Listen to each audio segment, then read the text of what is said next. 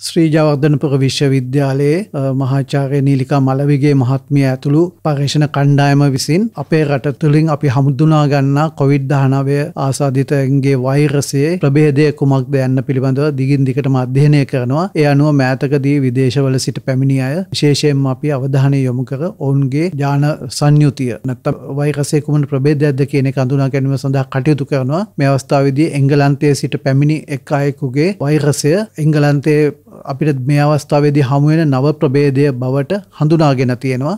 ඒ ඉතාමත්ම වැදගත්සොයා ගැනීමක්. මොකද ඒ අපි දැන් දන්නවා මේ අවධානම අපේ රට තුළට තියෙනවා. ඒ නිසා විදේශවල සිට පැමිණෙන අය පිළිබඳව විශේෂ අවධානය යොමු කළ යුතුයි. ඒවගේම ලෝක සෞඛ්‍ය සංවිධානය වාර්තා කරනවා. නව ප්‍රබේදය එංගලන්තේ පමණක් රැඳී සිටින්නේ නැතුව එය තවත් රටවල් ගණනාවකට ඇමරිකාව වගේම බ්‍රසීලය ඕස්ට්‍රේලියාව ජපානය ඉන්දියාව වගේ රටවල් ගණනාවකට මේ ප්‍රචාර වෙලා තියෙනවා. ඒ නිසා අපේ රටතුළටත් පහෙන් හෝ මේ ඇතුල්වීමට තියෙන අවධානම් වැඩි.